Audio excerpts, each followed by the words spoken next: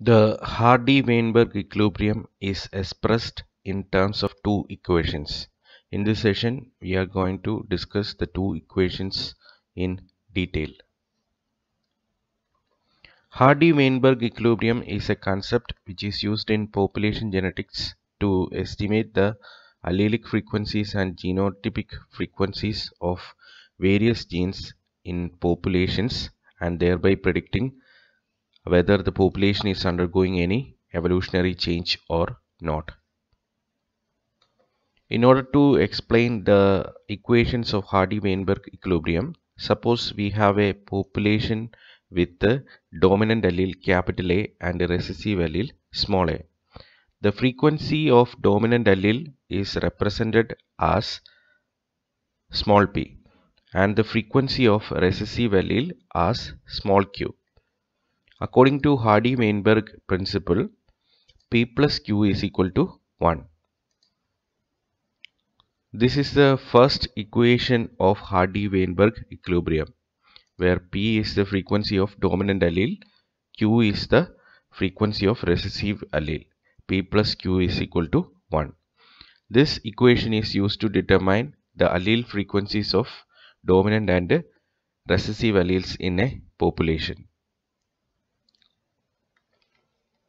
In order to explain the second equation of Hardy-Weinberg equilibrium, uh, let us uh, reconsider the same population with the dominant allele capital A and recessive allele small a.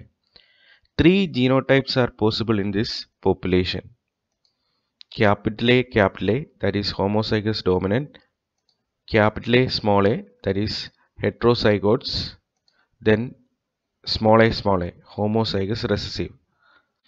The first equation of Hardy-Weinberg equilibrium is for determining allelic frequencies of dominant and recessive alleles.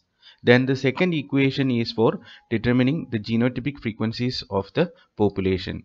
That is the for the determination of frequency of homozygous dominant capital A capital A then frequency of heterozygous individuals that is capital A small a then frequency of homozygous recessive small a small a.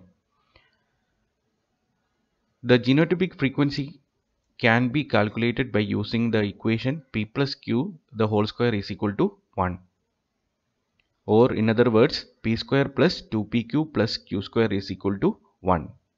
Here p square is the frequency of homozygous dominant individuals then 2pq is the frequency of heterozygous individuals then q square the frequency of homozygous recessive individuals.